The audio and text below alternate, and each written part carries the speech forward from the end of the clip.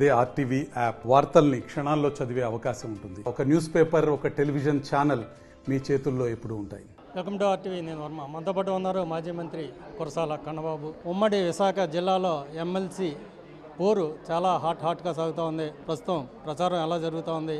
ఏ ఈక్వేషన్స్లో ప్రస్తుతం బొత్స సత్యనారాయణ ఏ స్టేజ్లో ఉన్నారు? పోటీలు అన్నది ఆయన అడిగి తెలుసుకుందాం. సార్ చెప్పండి.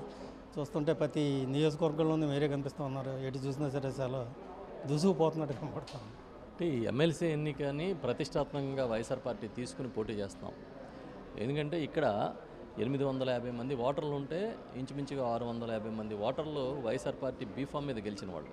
మా పార్టీ ఓటర్లు వాళ్ళంతా. కాబట్టి నాలుగింట మూడొంతుల బలం ఉన్న మేము పోటీ చేస్తే ఇనానమస్గా గెలుస్తాం మేము. అలాంటి దగ్గర చంద్రబాబు నాయుడు గారు తమకు బలం లేకపోయినా కూడా నైతిక విలువలు లేని రాజకీయం చేస్తూ అభ్యర్థిని పెట్టాలని ప్రయత్నం చేస్తున్నారు. అందుకే మేము మా ఓటర్లందరినీ మోటివేట్ చేస్తూ ఏ విధంగా మనం గెలవాలి ఎందుకు గెలవాలి మన నాయకుడు జగన్మోహన్ రెడ్డి గారు నాయకత్వాన్ని మనం బలపరిచి ఇలాంటి సీనియర్ నాయకులు బొత్స సత్యనారాయణ గారు లాంటి వాళ్ళని కౌన్సిల్ పంపిస్తే ఏ విధంగా ఉపయోగం ఉంటుందనేది వాళ్ళందరినీ మోటివేట్ చేయడం కోసం సమావేశాలు పెడుతున్నాం. అంటే మనం ప్రధానంగా చూసుకుంటే కనుక జీవీఎంసీలో మీ బలం ఉన్నప్పటికీ కూడా స్టాండింగ్ కమిటీ పోగొట్టుకోవాల్సి వచ్చింది. ఇదే స్ట్రాటజీ వాళ్ళు అనుసరించే అవకాశం ఉంది. అంటే మీకు జీవీఎంసీ స్టాండింగ్ కమిటీలు వేరు ఈ స్థానిక ఎమ్మెల్సీ ఎన్నిక వేరు.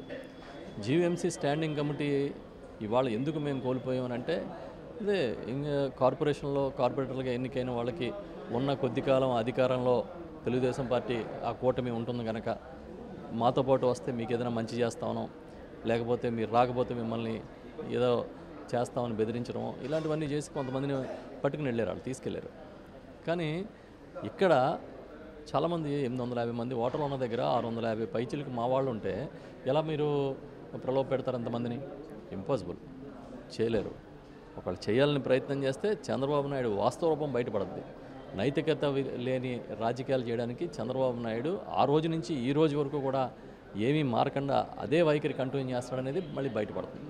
సార్ ఫైనల్గా చెప్పండి విజయం ఎవరిదనుకుంటున్నారు నూటికి నూరు శాతం వైఎస్ఆర్ పార్టీది. ఎందుకంటే మాకు ఇవాళ మీరే తీసుకుని చూడండి ఓటర్ లిస్టు. బీఫామ్ మీద వైఎస్ఆర్ పార్టీ బీఫామ్ మీద గెలిచిన వాళ్ళు ఎంతమంది ఉన్నారు మీకు తెలిసిపోద్ది లెక్క? అంతమంది ఓటర్లు ఉంటే మేము ఎందుకు గెలవం? మీరు ఎంతమందిని ప్రలోభ పెట్టగలుగుతారు ఒకవేళ పెట్టాలంటే? ఎంతమందిని బెదిరిస్తారు? వైఎస్ఆర్ పార్టీ చాలా బలంగా క్షేత్రస్థాయిలో ఉంది. క్యాడరు ఖచ్చితంగా ఇది గెలిచి తీరాలి. ఇక్కడి నుంచి ఉత్తరాంధ్ర నుంచి విశాఖపట్నం నుంచి రాష్ట్రానికి ఒక మెసేజ్ ఇవ్వాలనే బలమైన ఆలోచనతో ఉన్నారు. అంటే వాళ్ళు ఒక మైండ్ గేమ్ ఆడుతున్నారు మానసిక స్థైర్యం కోల్పోయారు మొత్తం వైసీపీ నాయకులంతా. పిఠాపురంలో దొరబాబు కావచ్చు ఏలూరులో నాని కావచ్చు. ఇలాగే ఇంకా లోకల్ బాడీలో వాళ్ళు కూడా మా వైపు డైవర్ట్ అవుతారు ఒక పని చేయండి సార్. రెండు వేల పంతొమ్మిది తర్వాత తెలుగుదేశం పార్టీ నుంచి వెళ్ళిపోయిన నాయకులు ఎవరు? గెలిచిన గుమ్మం దాటి బయటికి రాని వాళ్ళు ఎవరు? ఓడిపోయి పక్క గుమ్మాలను తలుపులు తట్టిన వాళ్ళు ఎవరు ఆ లిస్టులు తీసి చూస్తే ఇవాళ ఈ రెండు నెలల్లో మా దగ్గర నుంచి ఎక్కువ మంది వెళ్ళిపోయారా? ఆ రోజు రెండు వేల పంతొమ్మిదిలో తెలుగుదేశం పార్టీని వదిలిపెట్టి బయటకు వచ్చేసిన వాళ్ళు ఎక్కువ మంది ఉన్నారా? ఆ రోజు రాజకీయంగా మేము యాక్టివ్గా ఉండమని ప్రకటించి ఇళ్ళలో ఉండిపోయిన వాళ్ళు ఎక్కువ మంది ఉన్నారా? మీకే తెలిసిపోతుంది రాజకీయాలు ఇది చాలా సహజం. ఐదేళ్ళ కాలం అనేది చాలా ఎక్కువ ఇవాళ ఉన్న ట్రెండ్లో.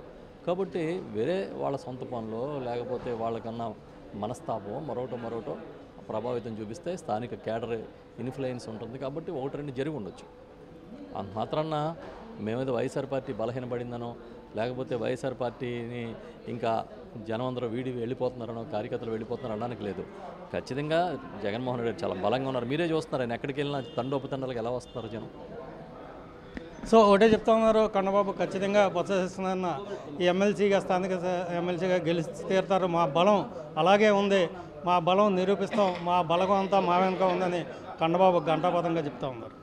కెమెరామెన్ అజయ్ వర్మ ఆర్టీవీ విశాఖపట్నం నుంచి. మరిన్ని వీడియోస్ కోసం ఛానల్ సబ్స్క్రైబ్ చేయండి. లేటెస్ట్ అప్డేట్స్ కోసం వాట్సాప్ ఛానల్ ఫాలో చేయండి. అండ్ లింక్ డిస్క్రిప్షన్లో ఉంది.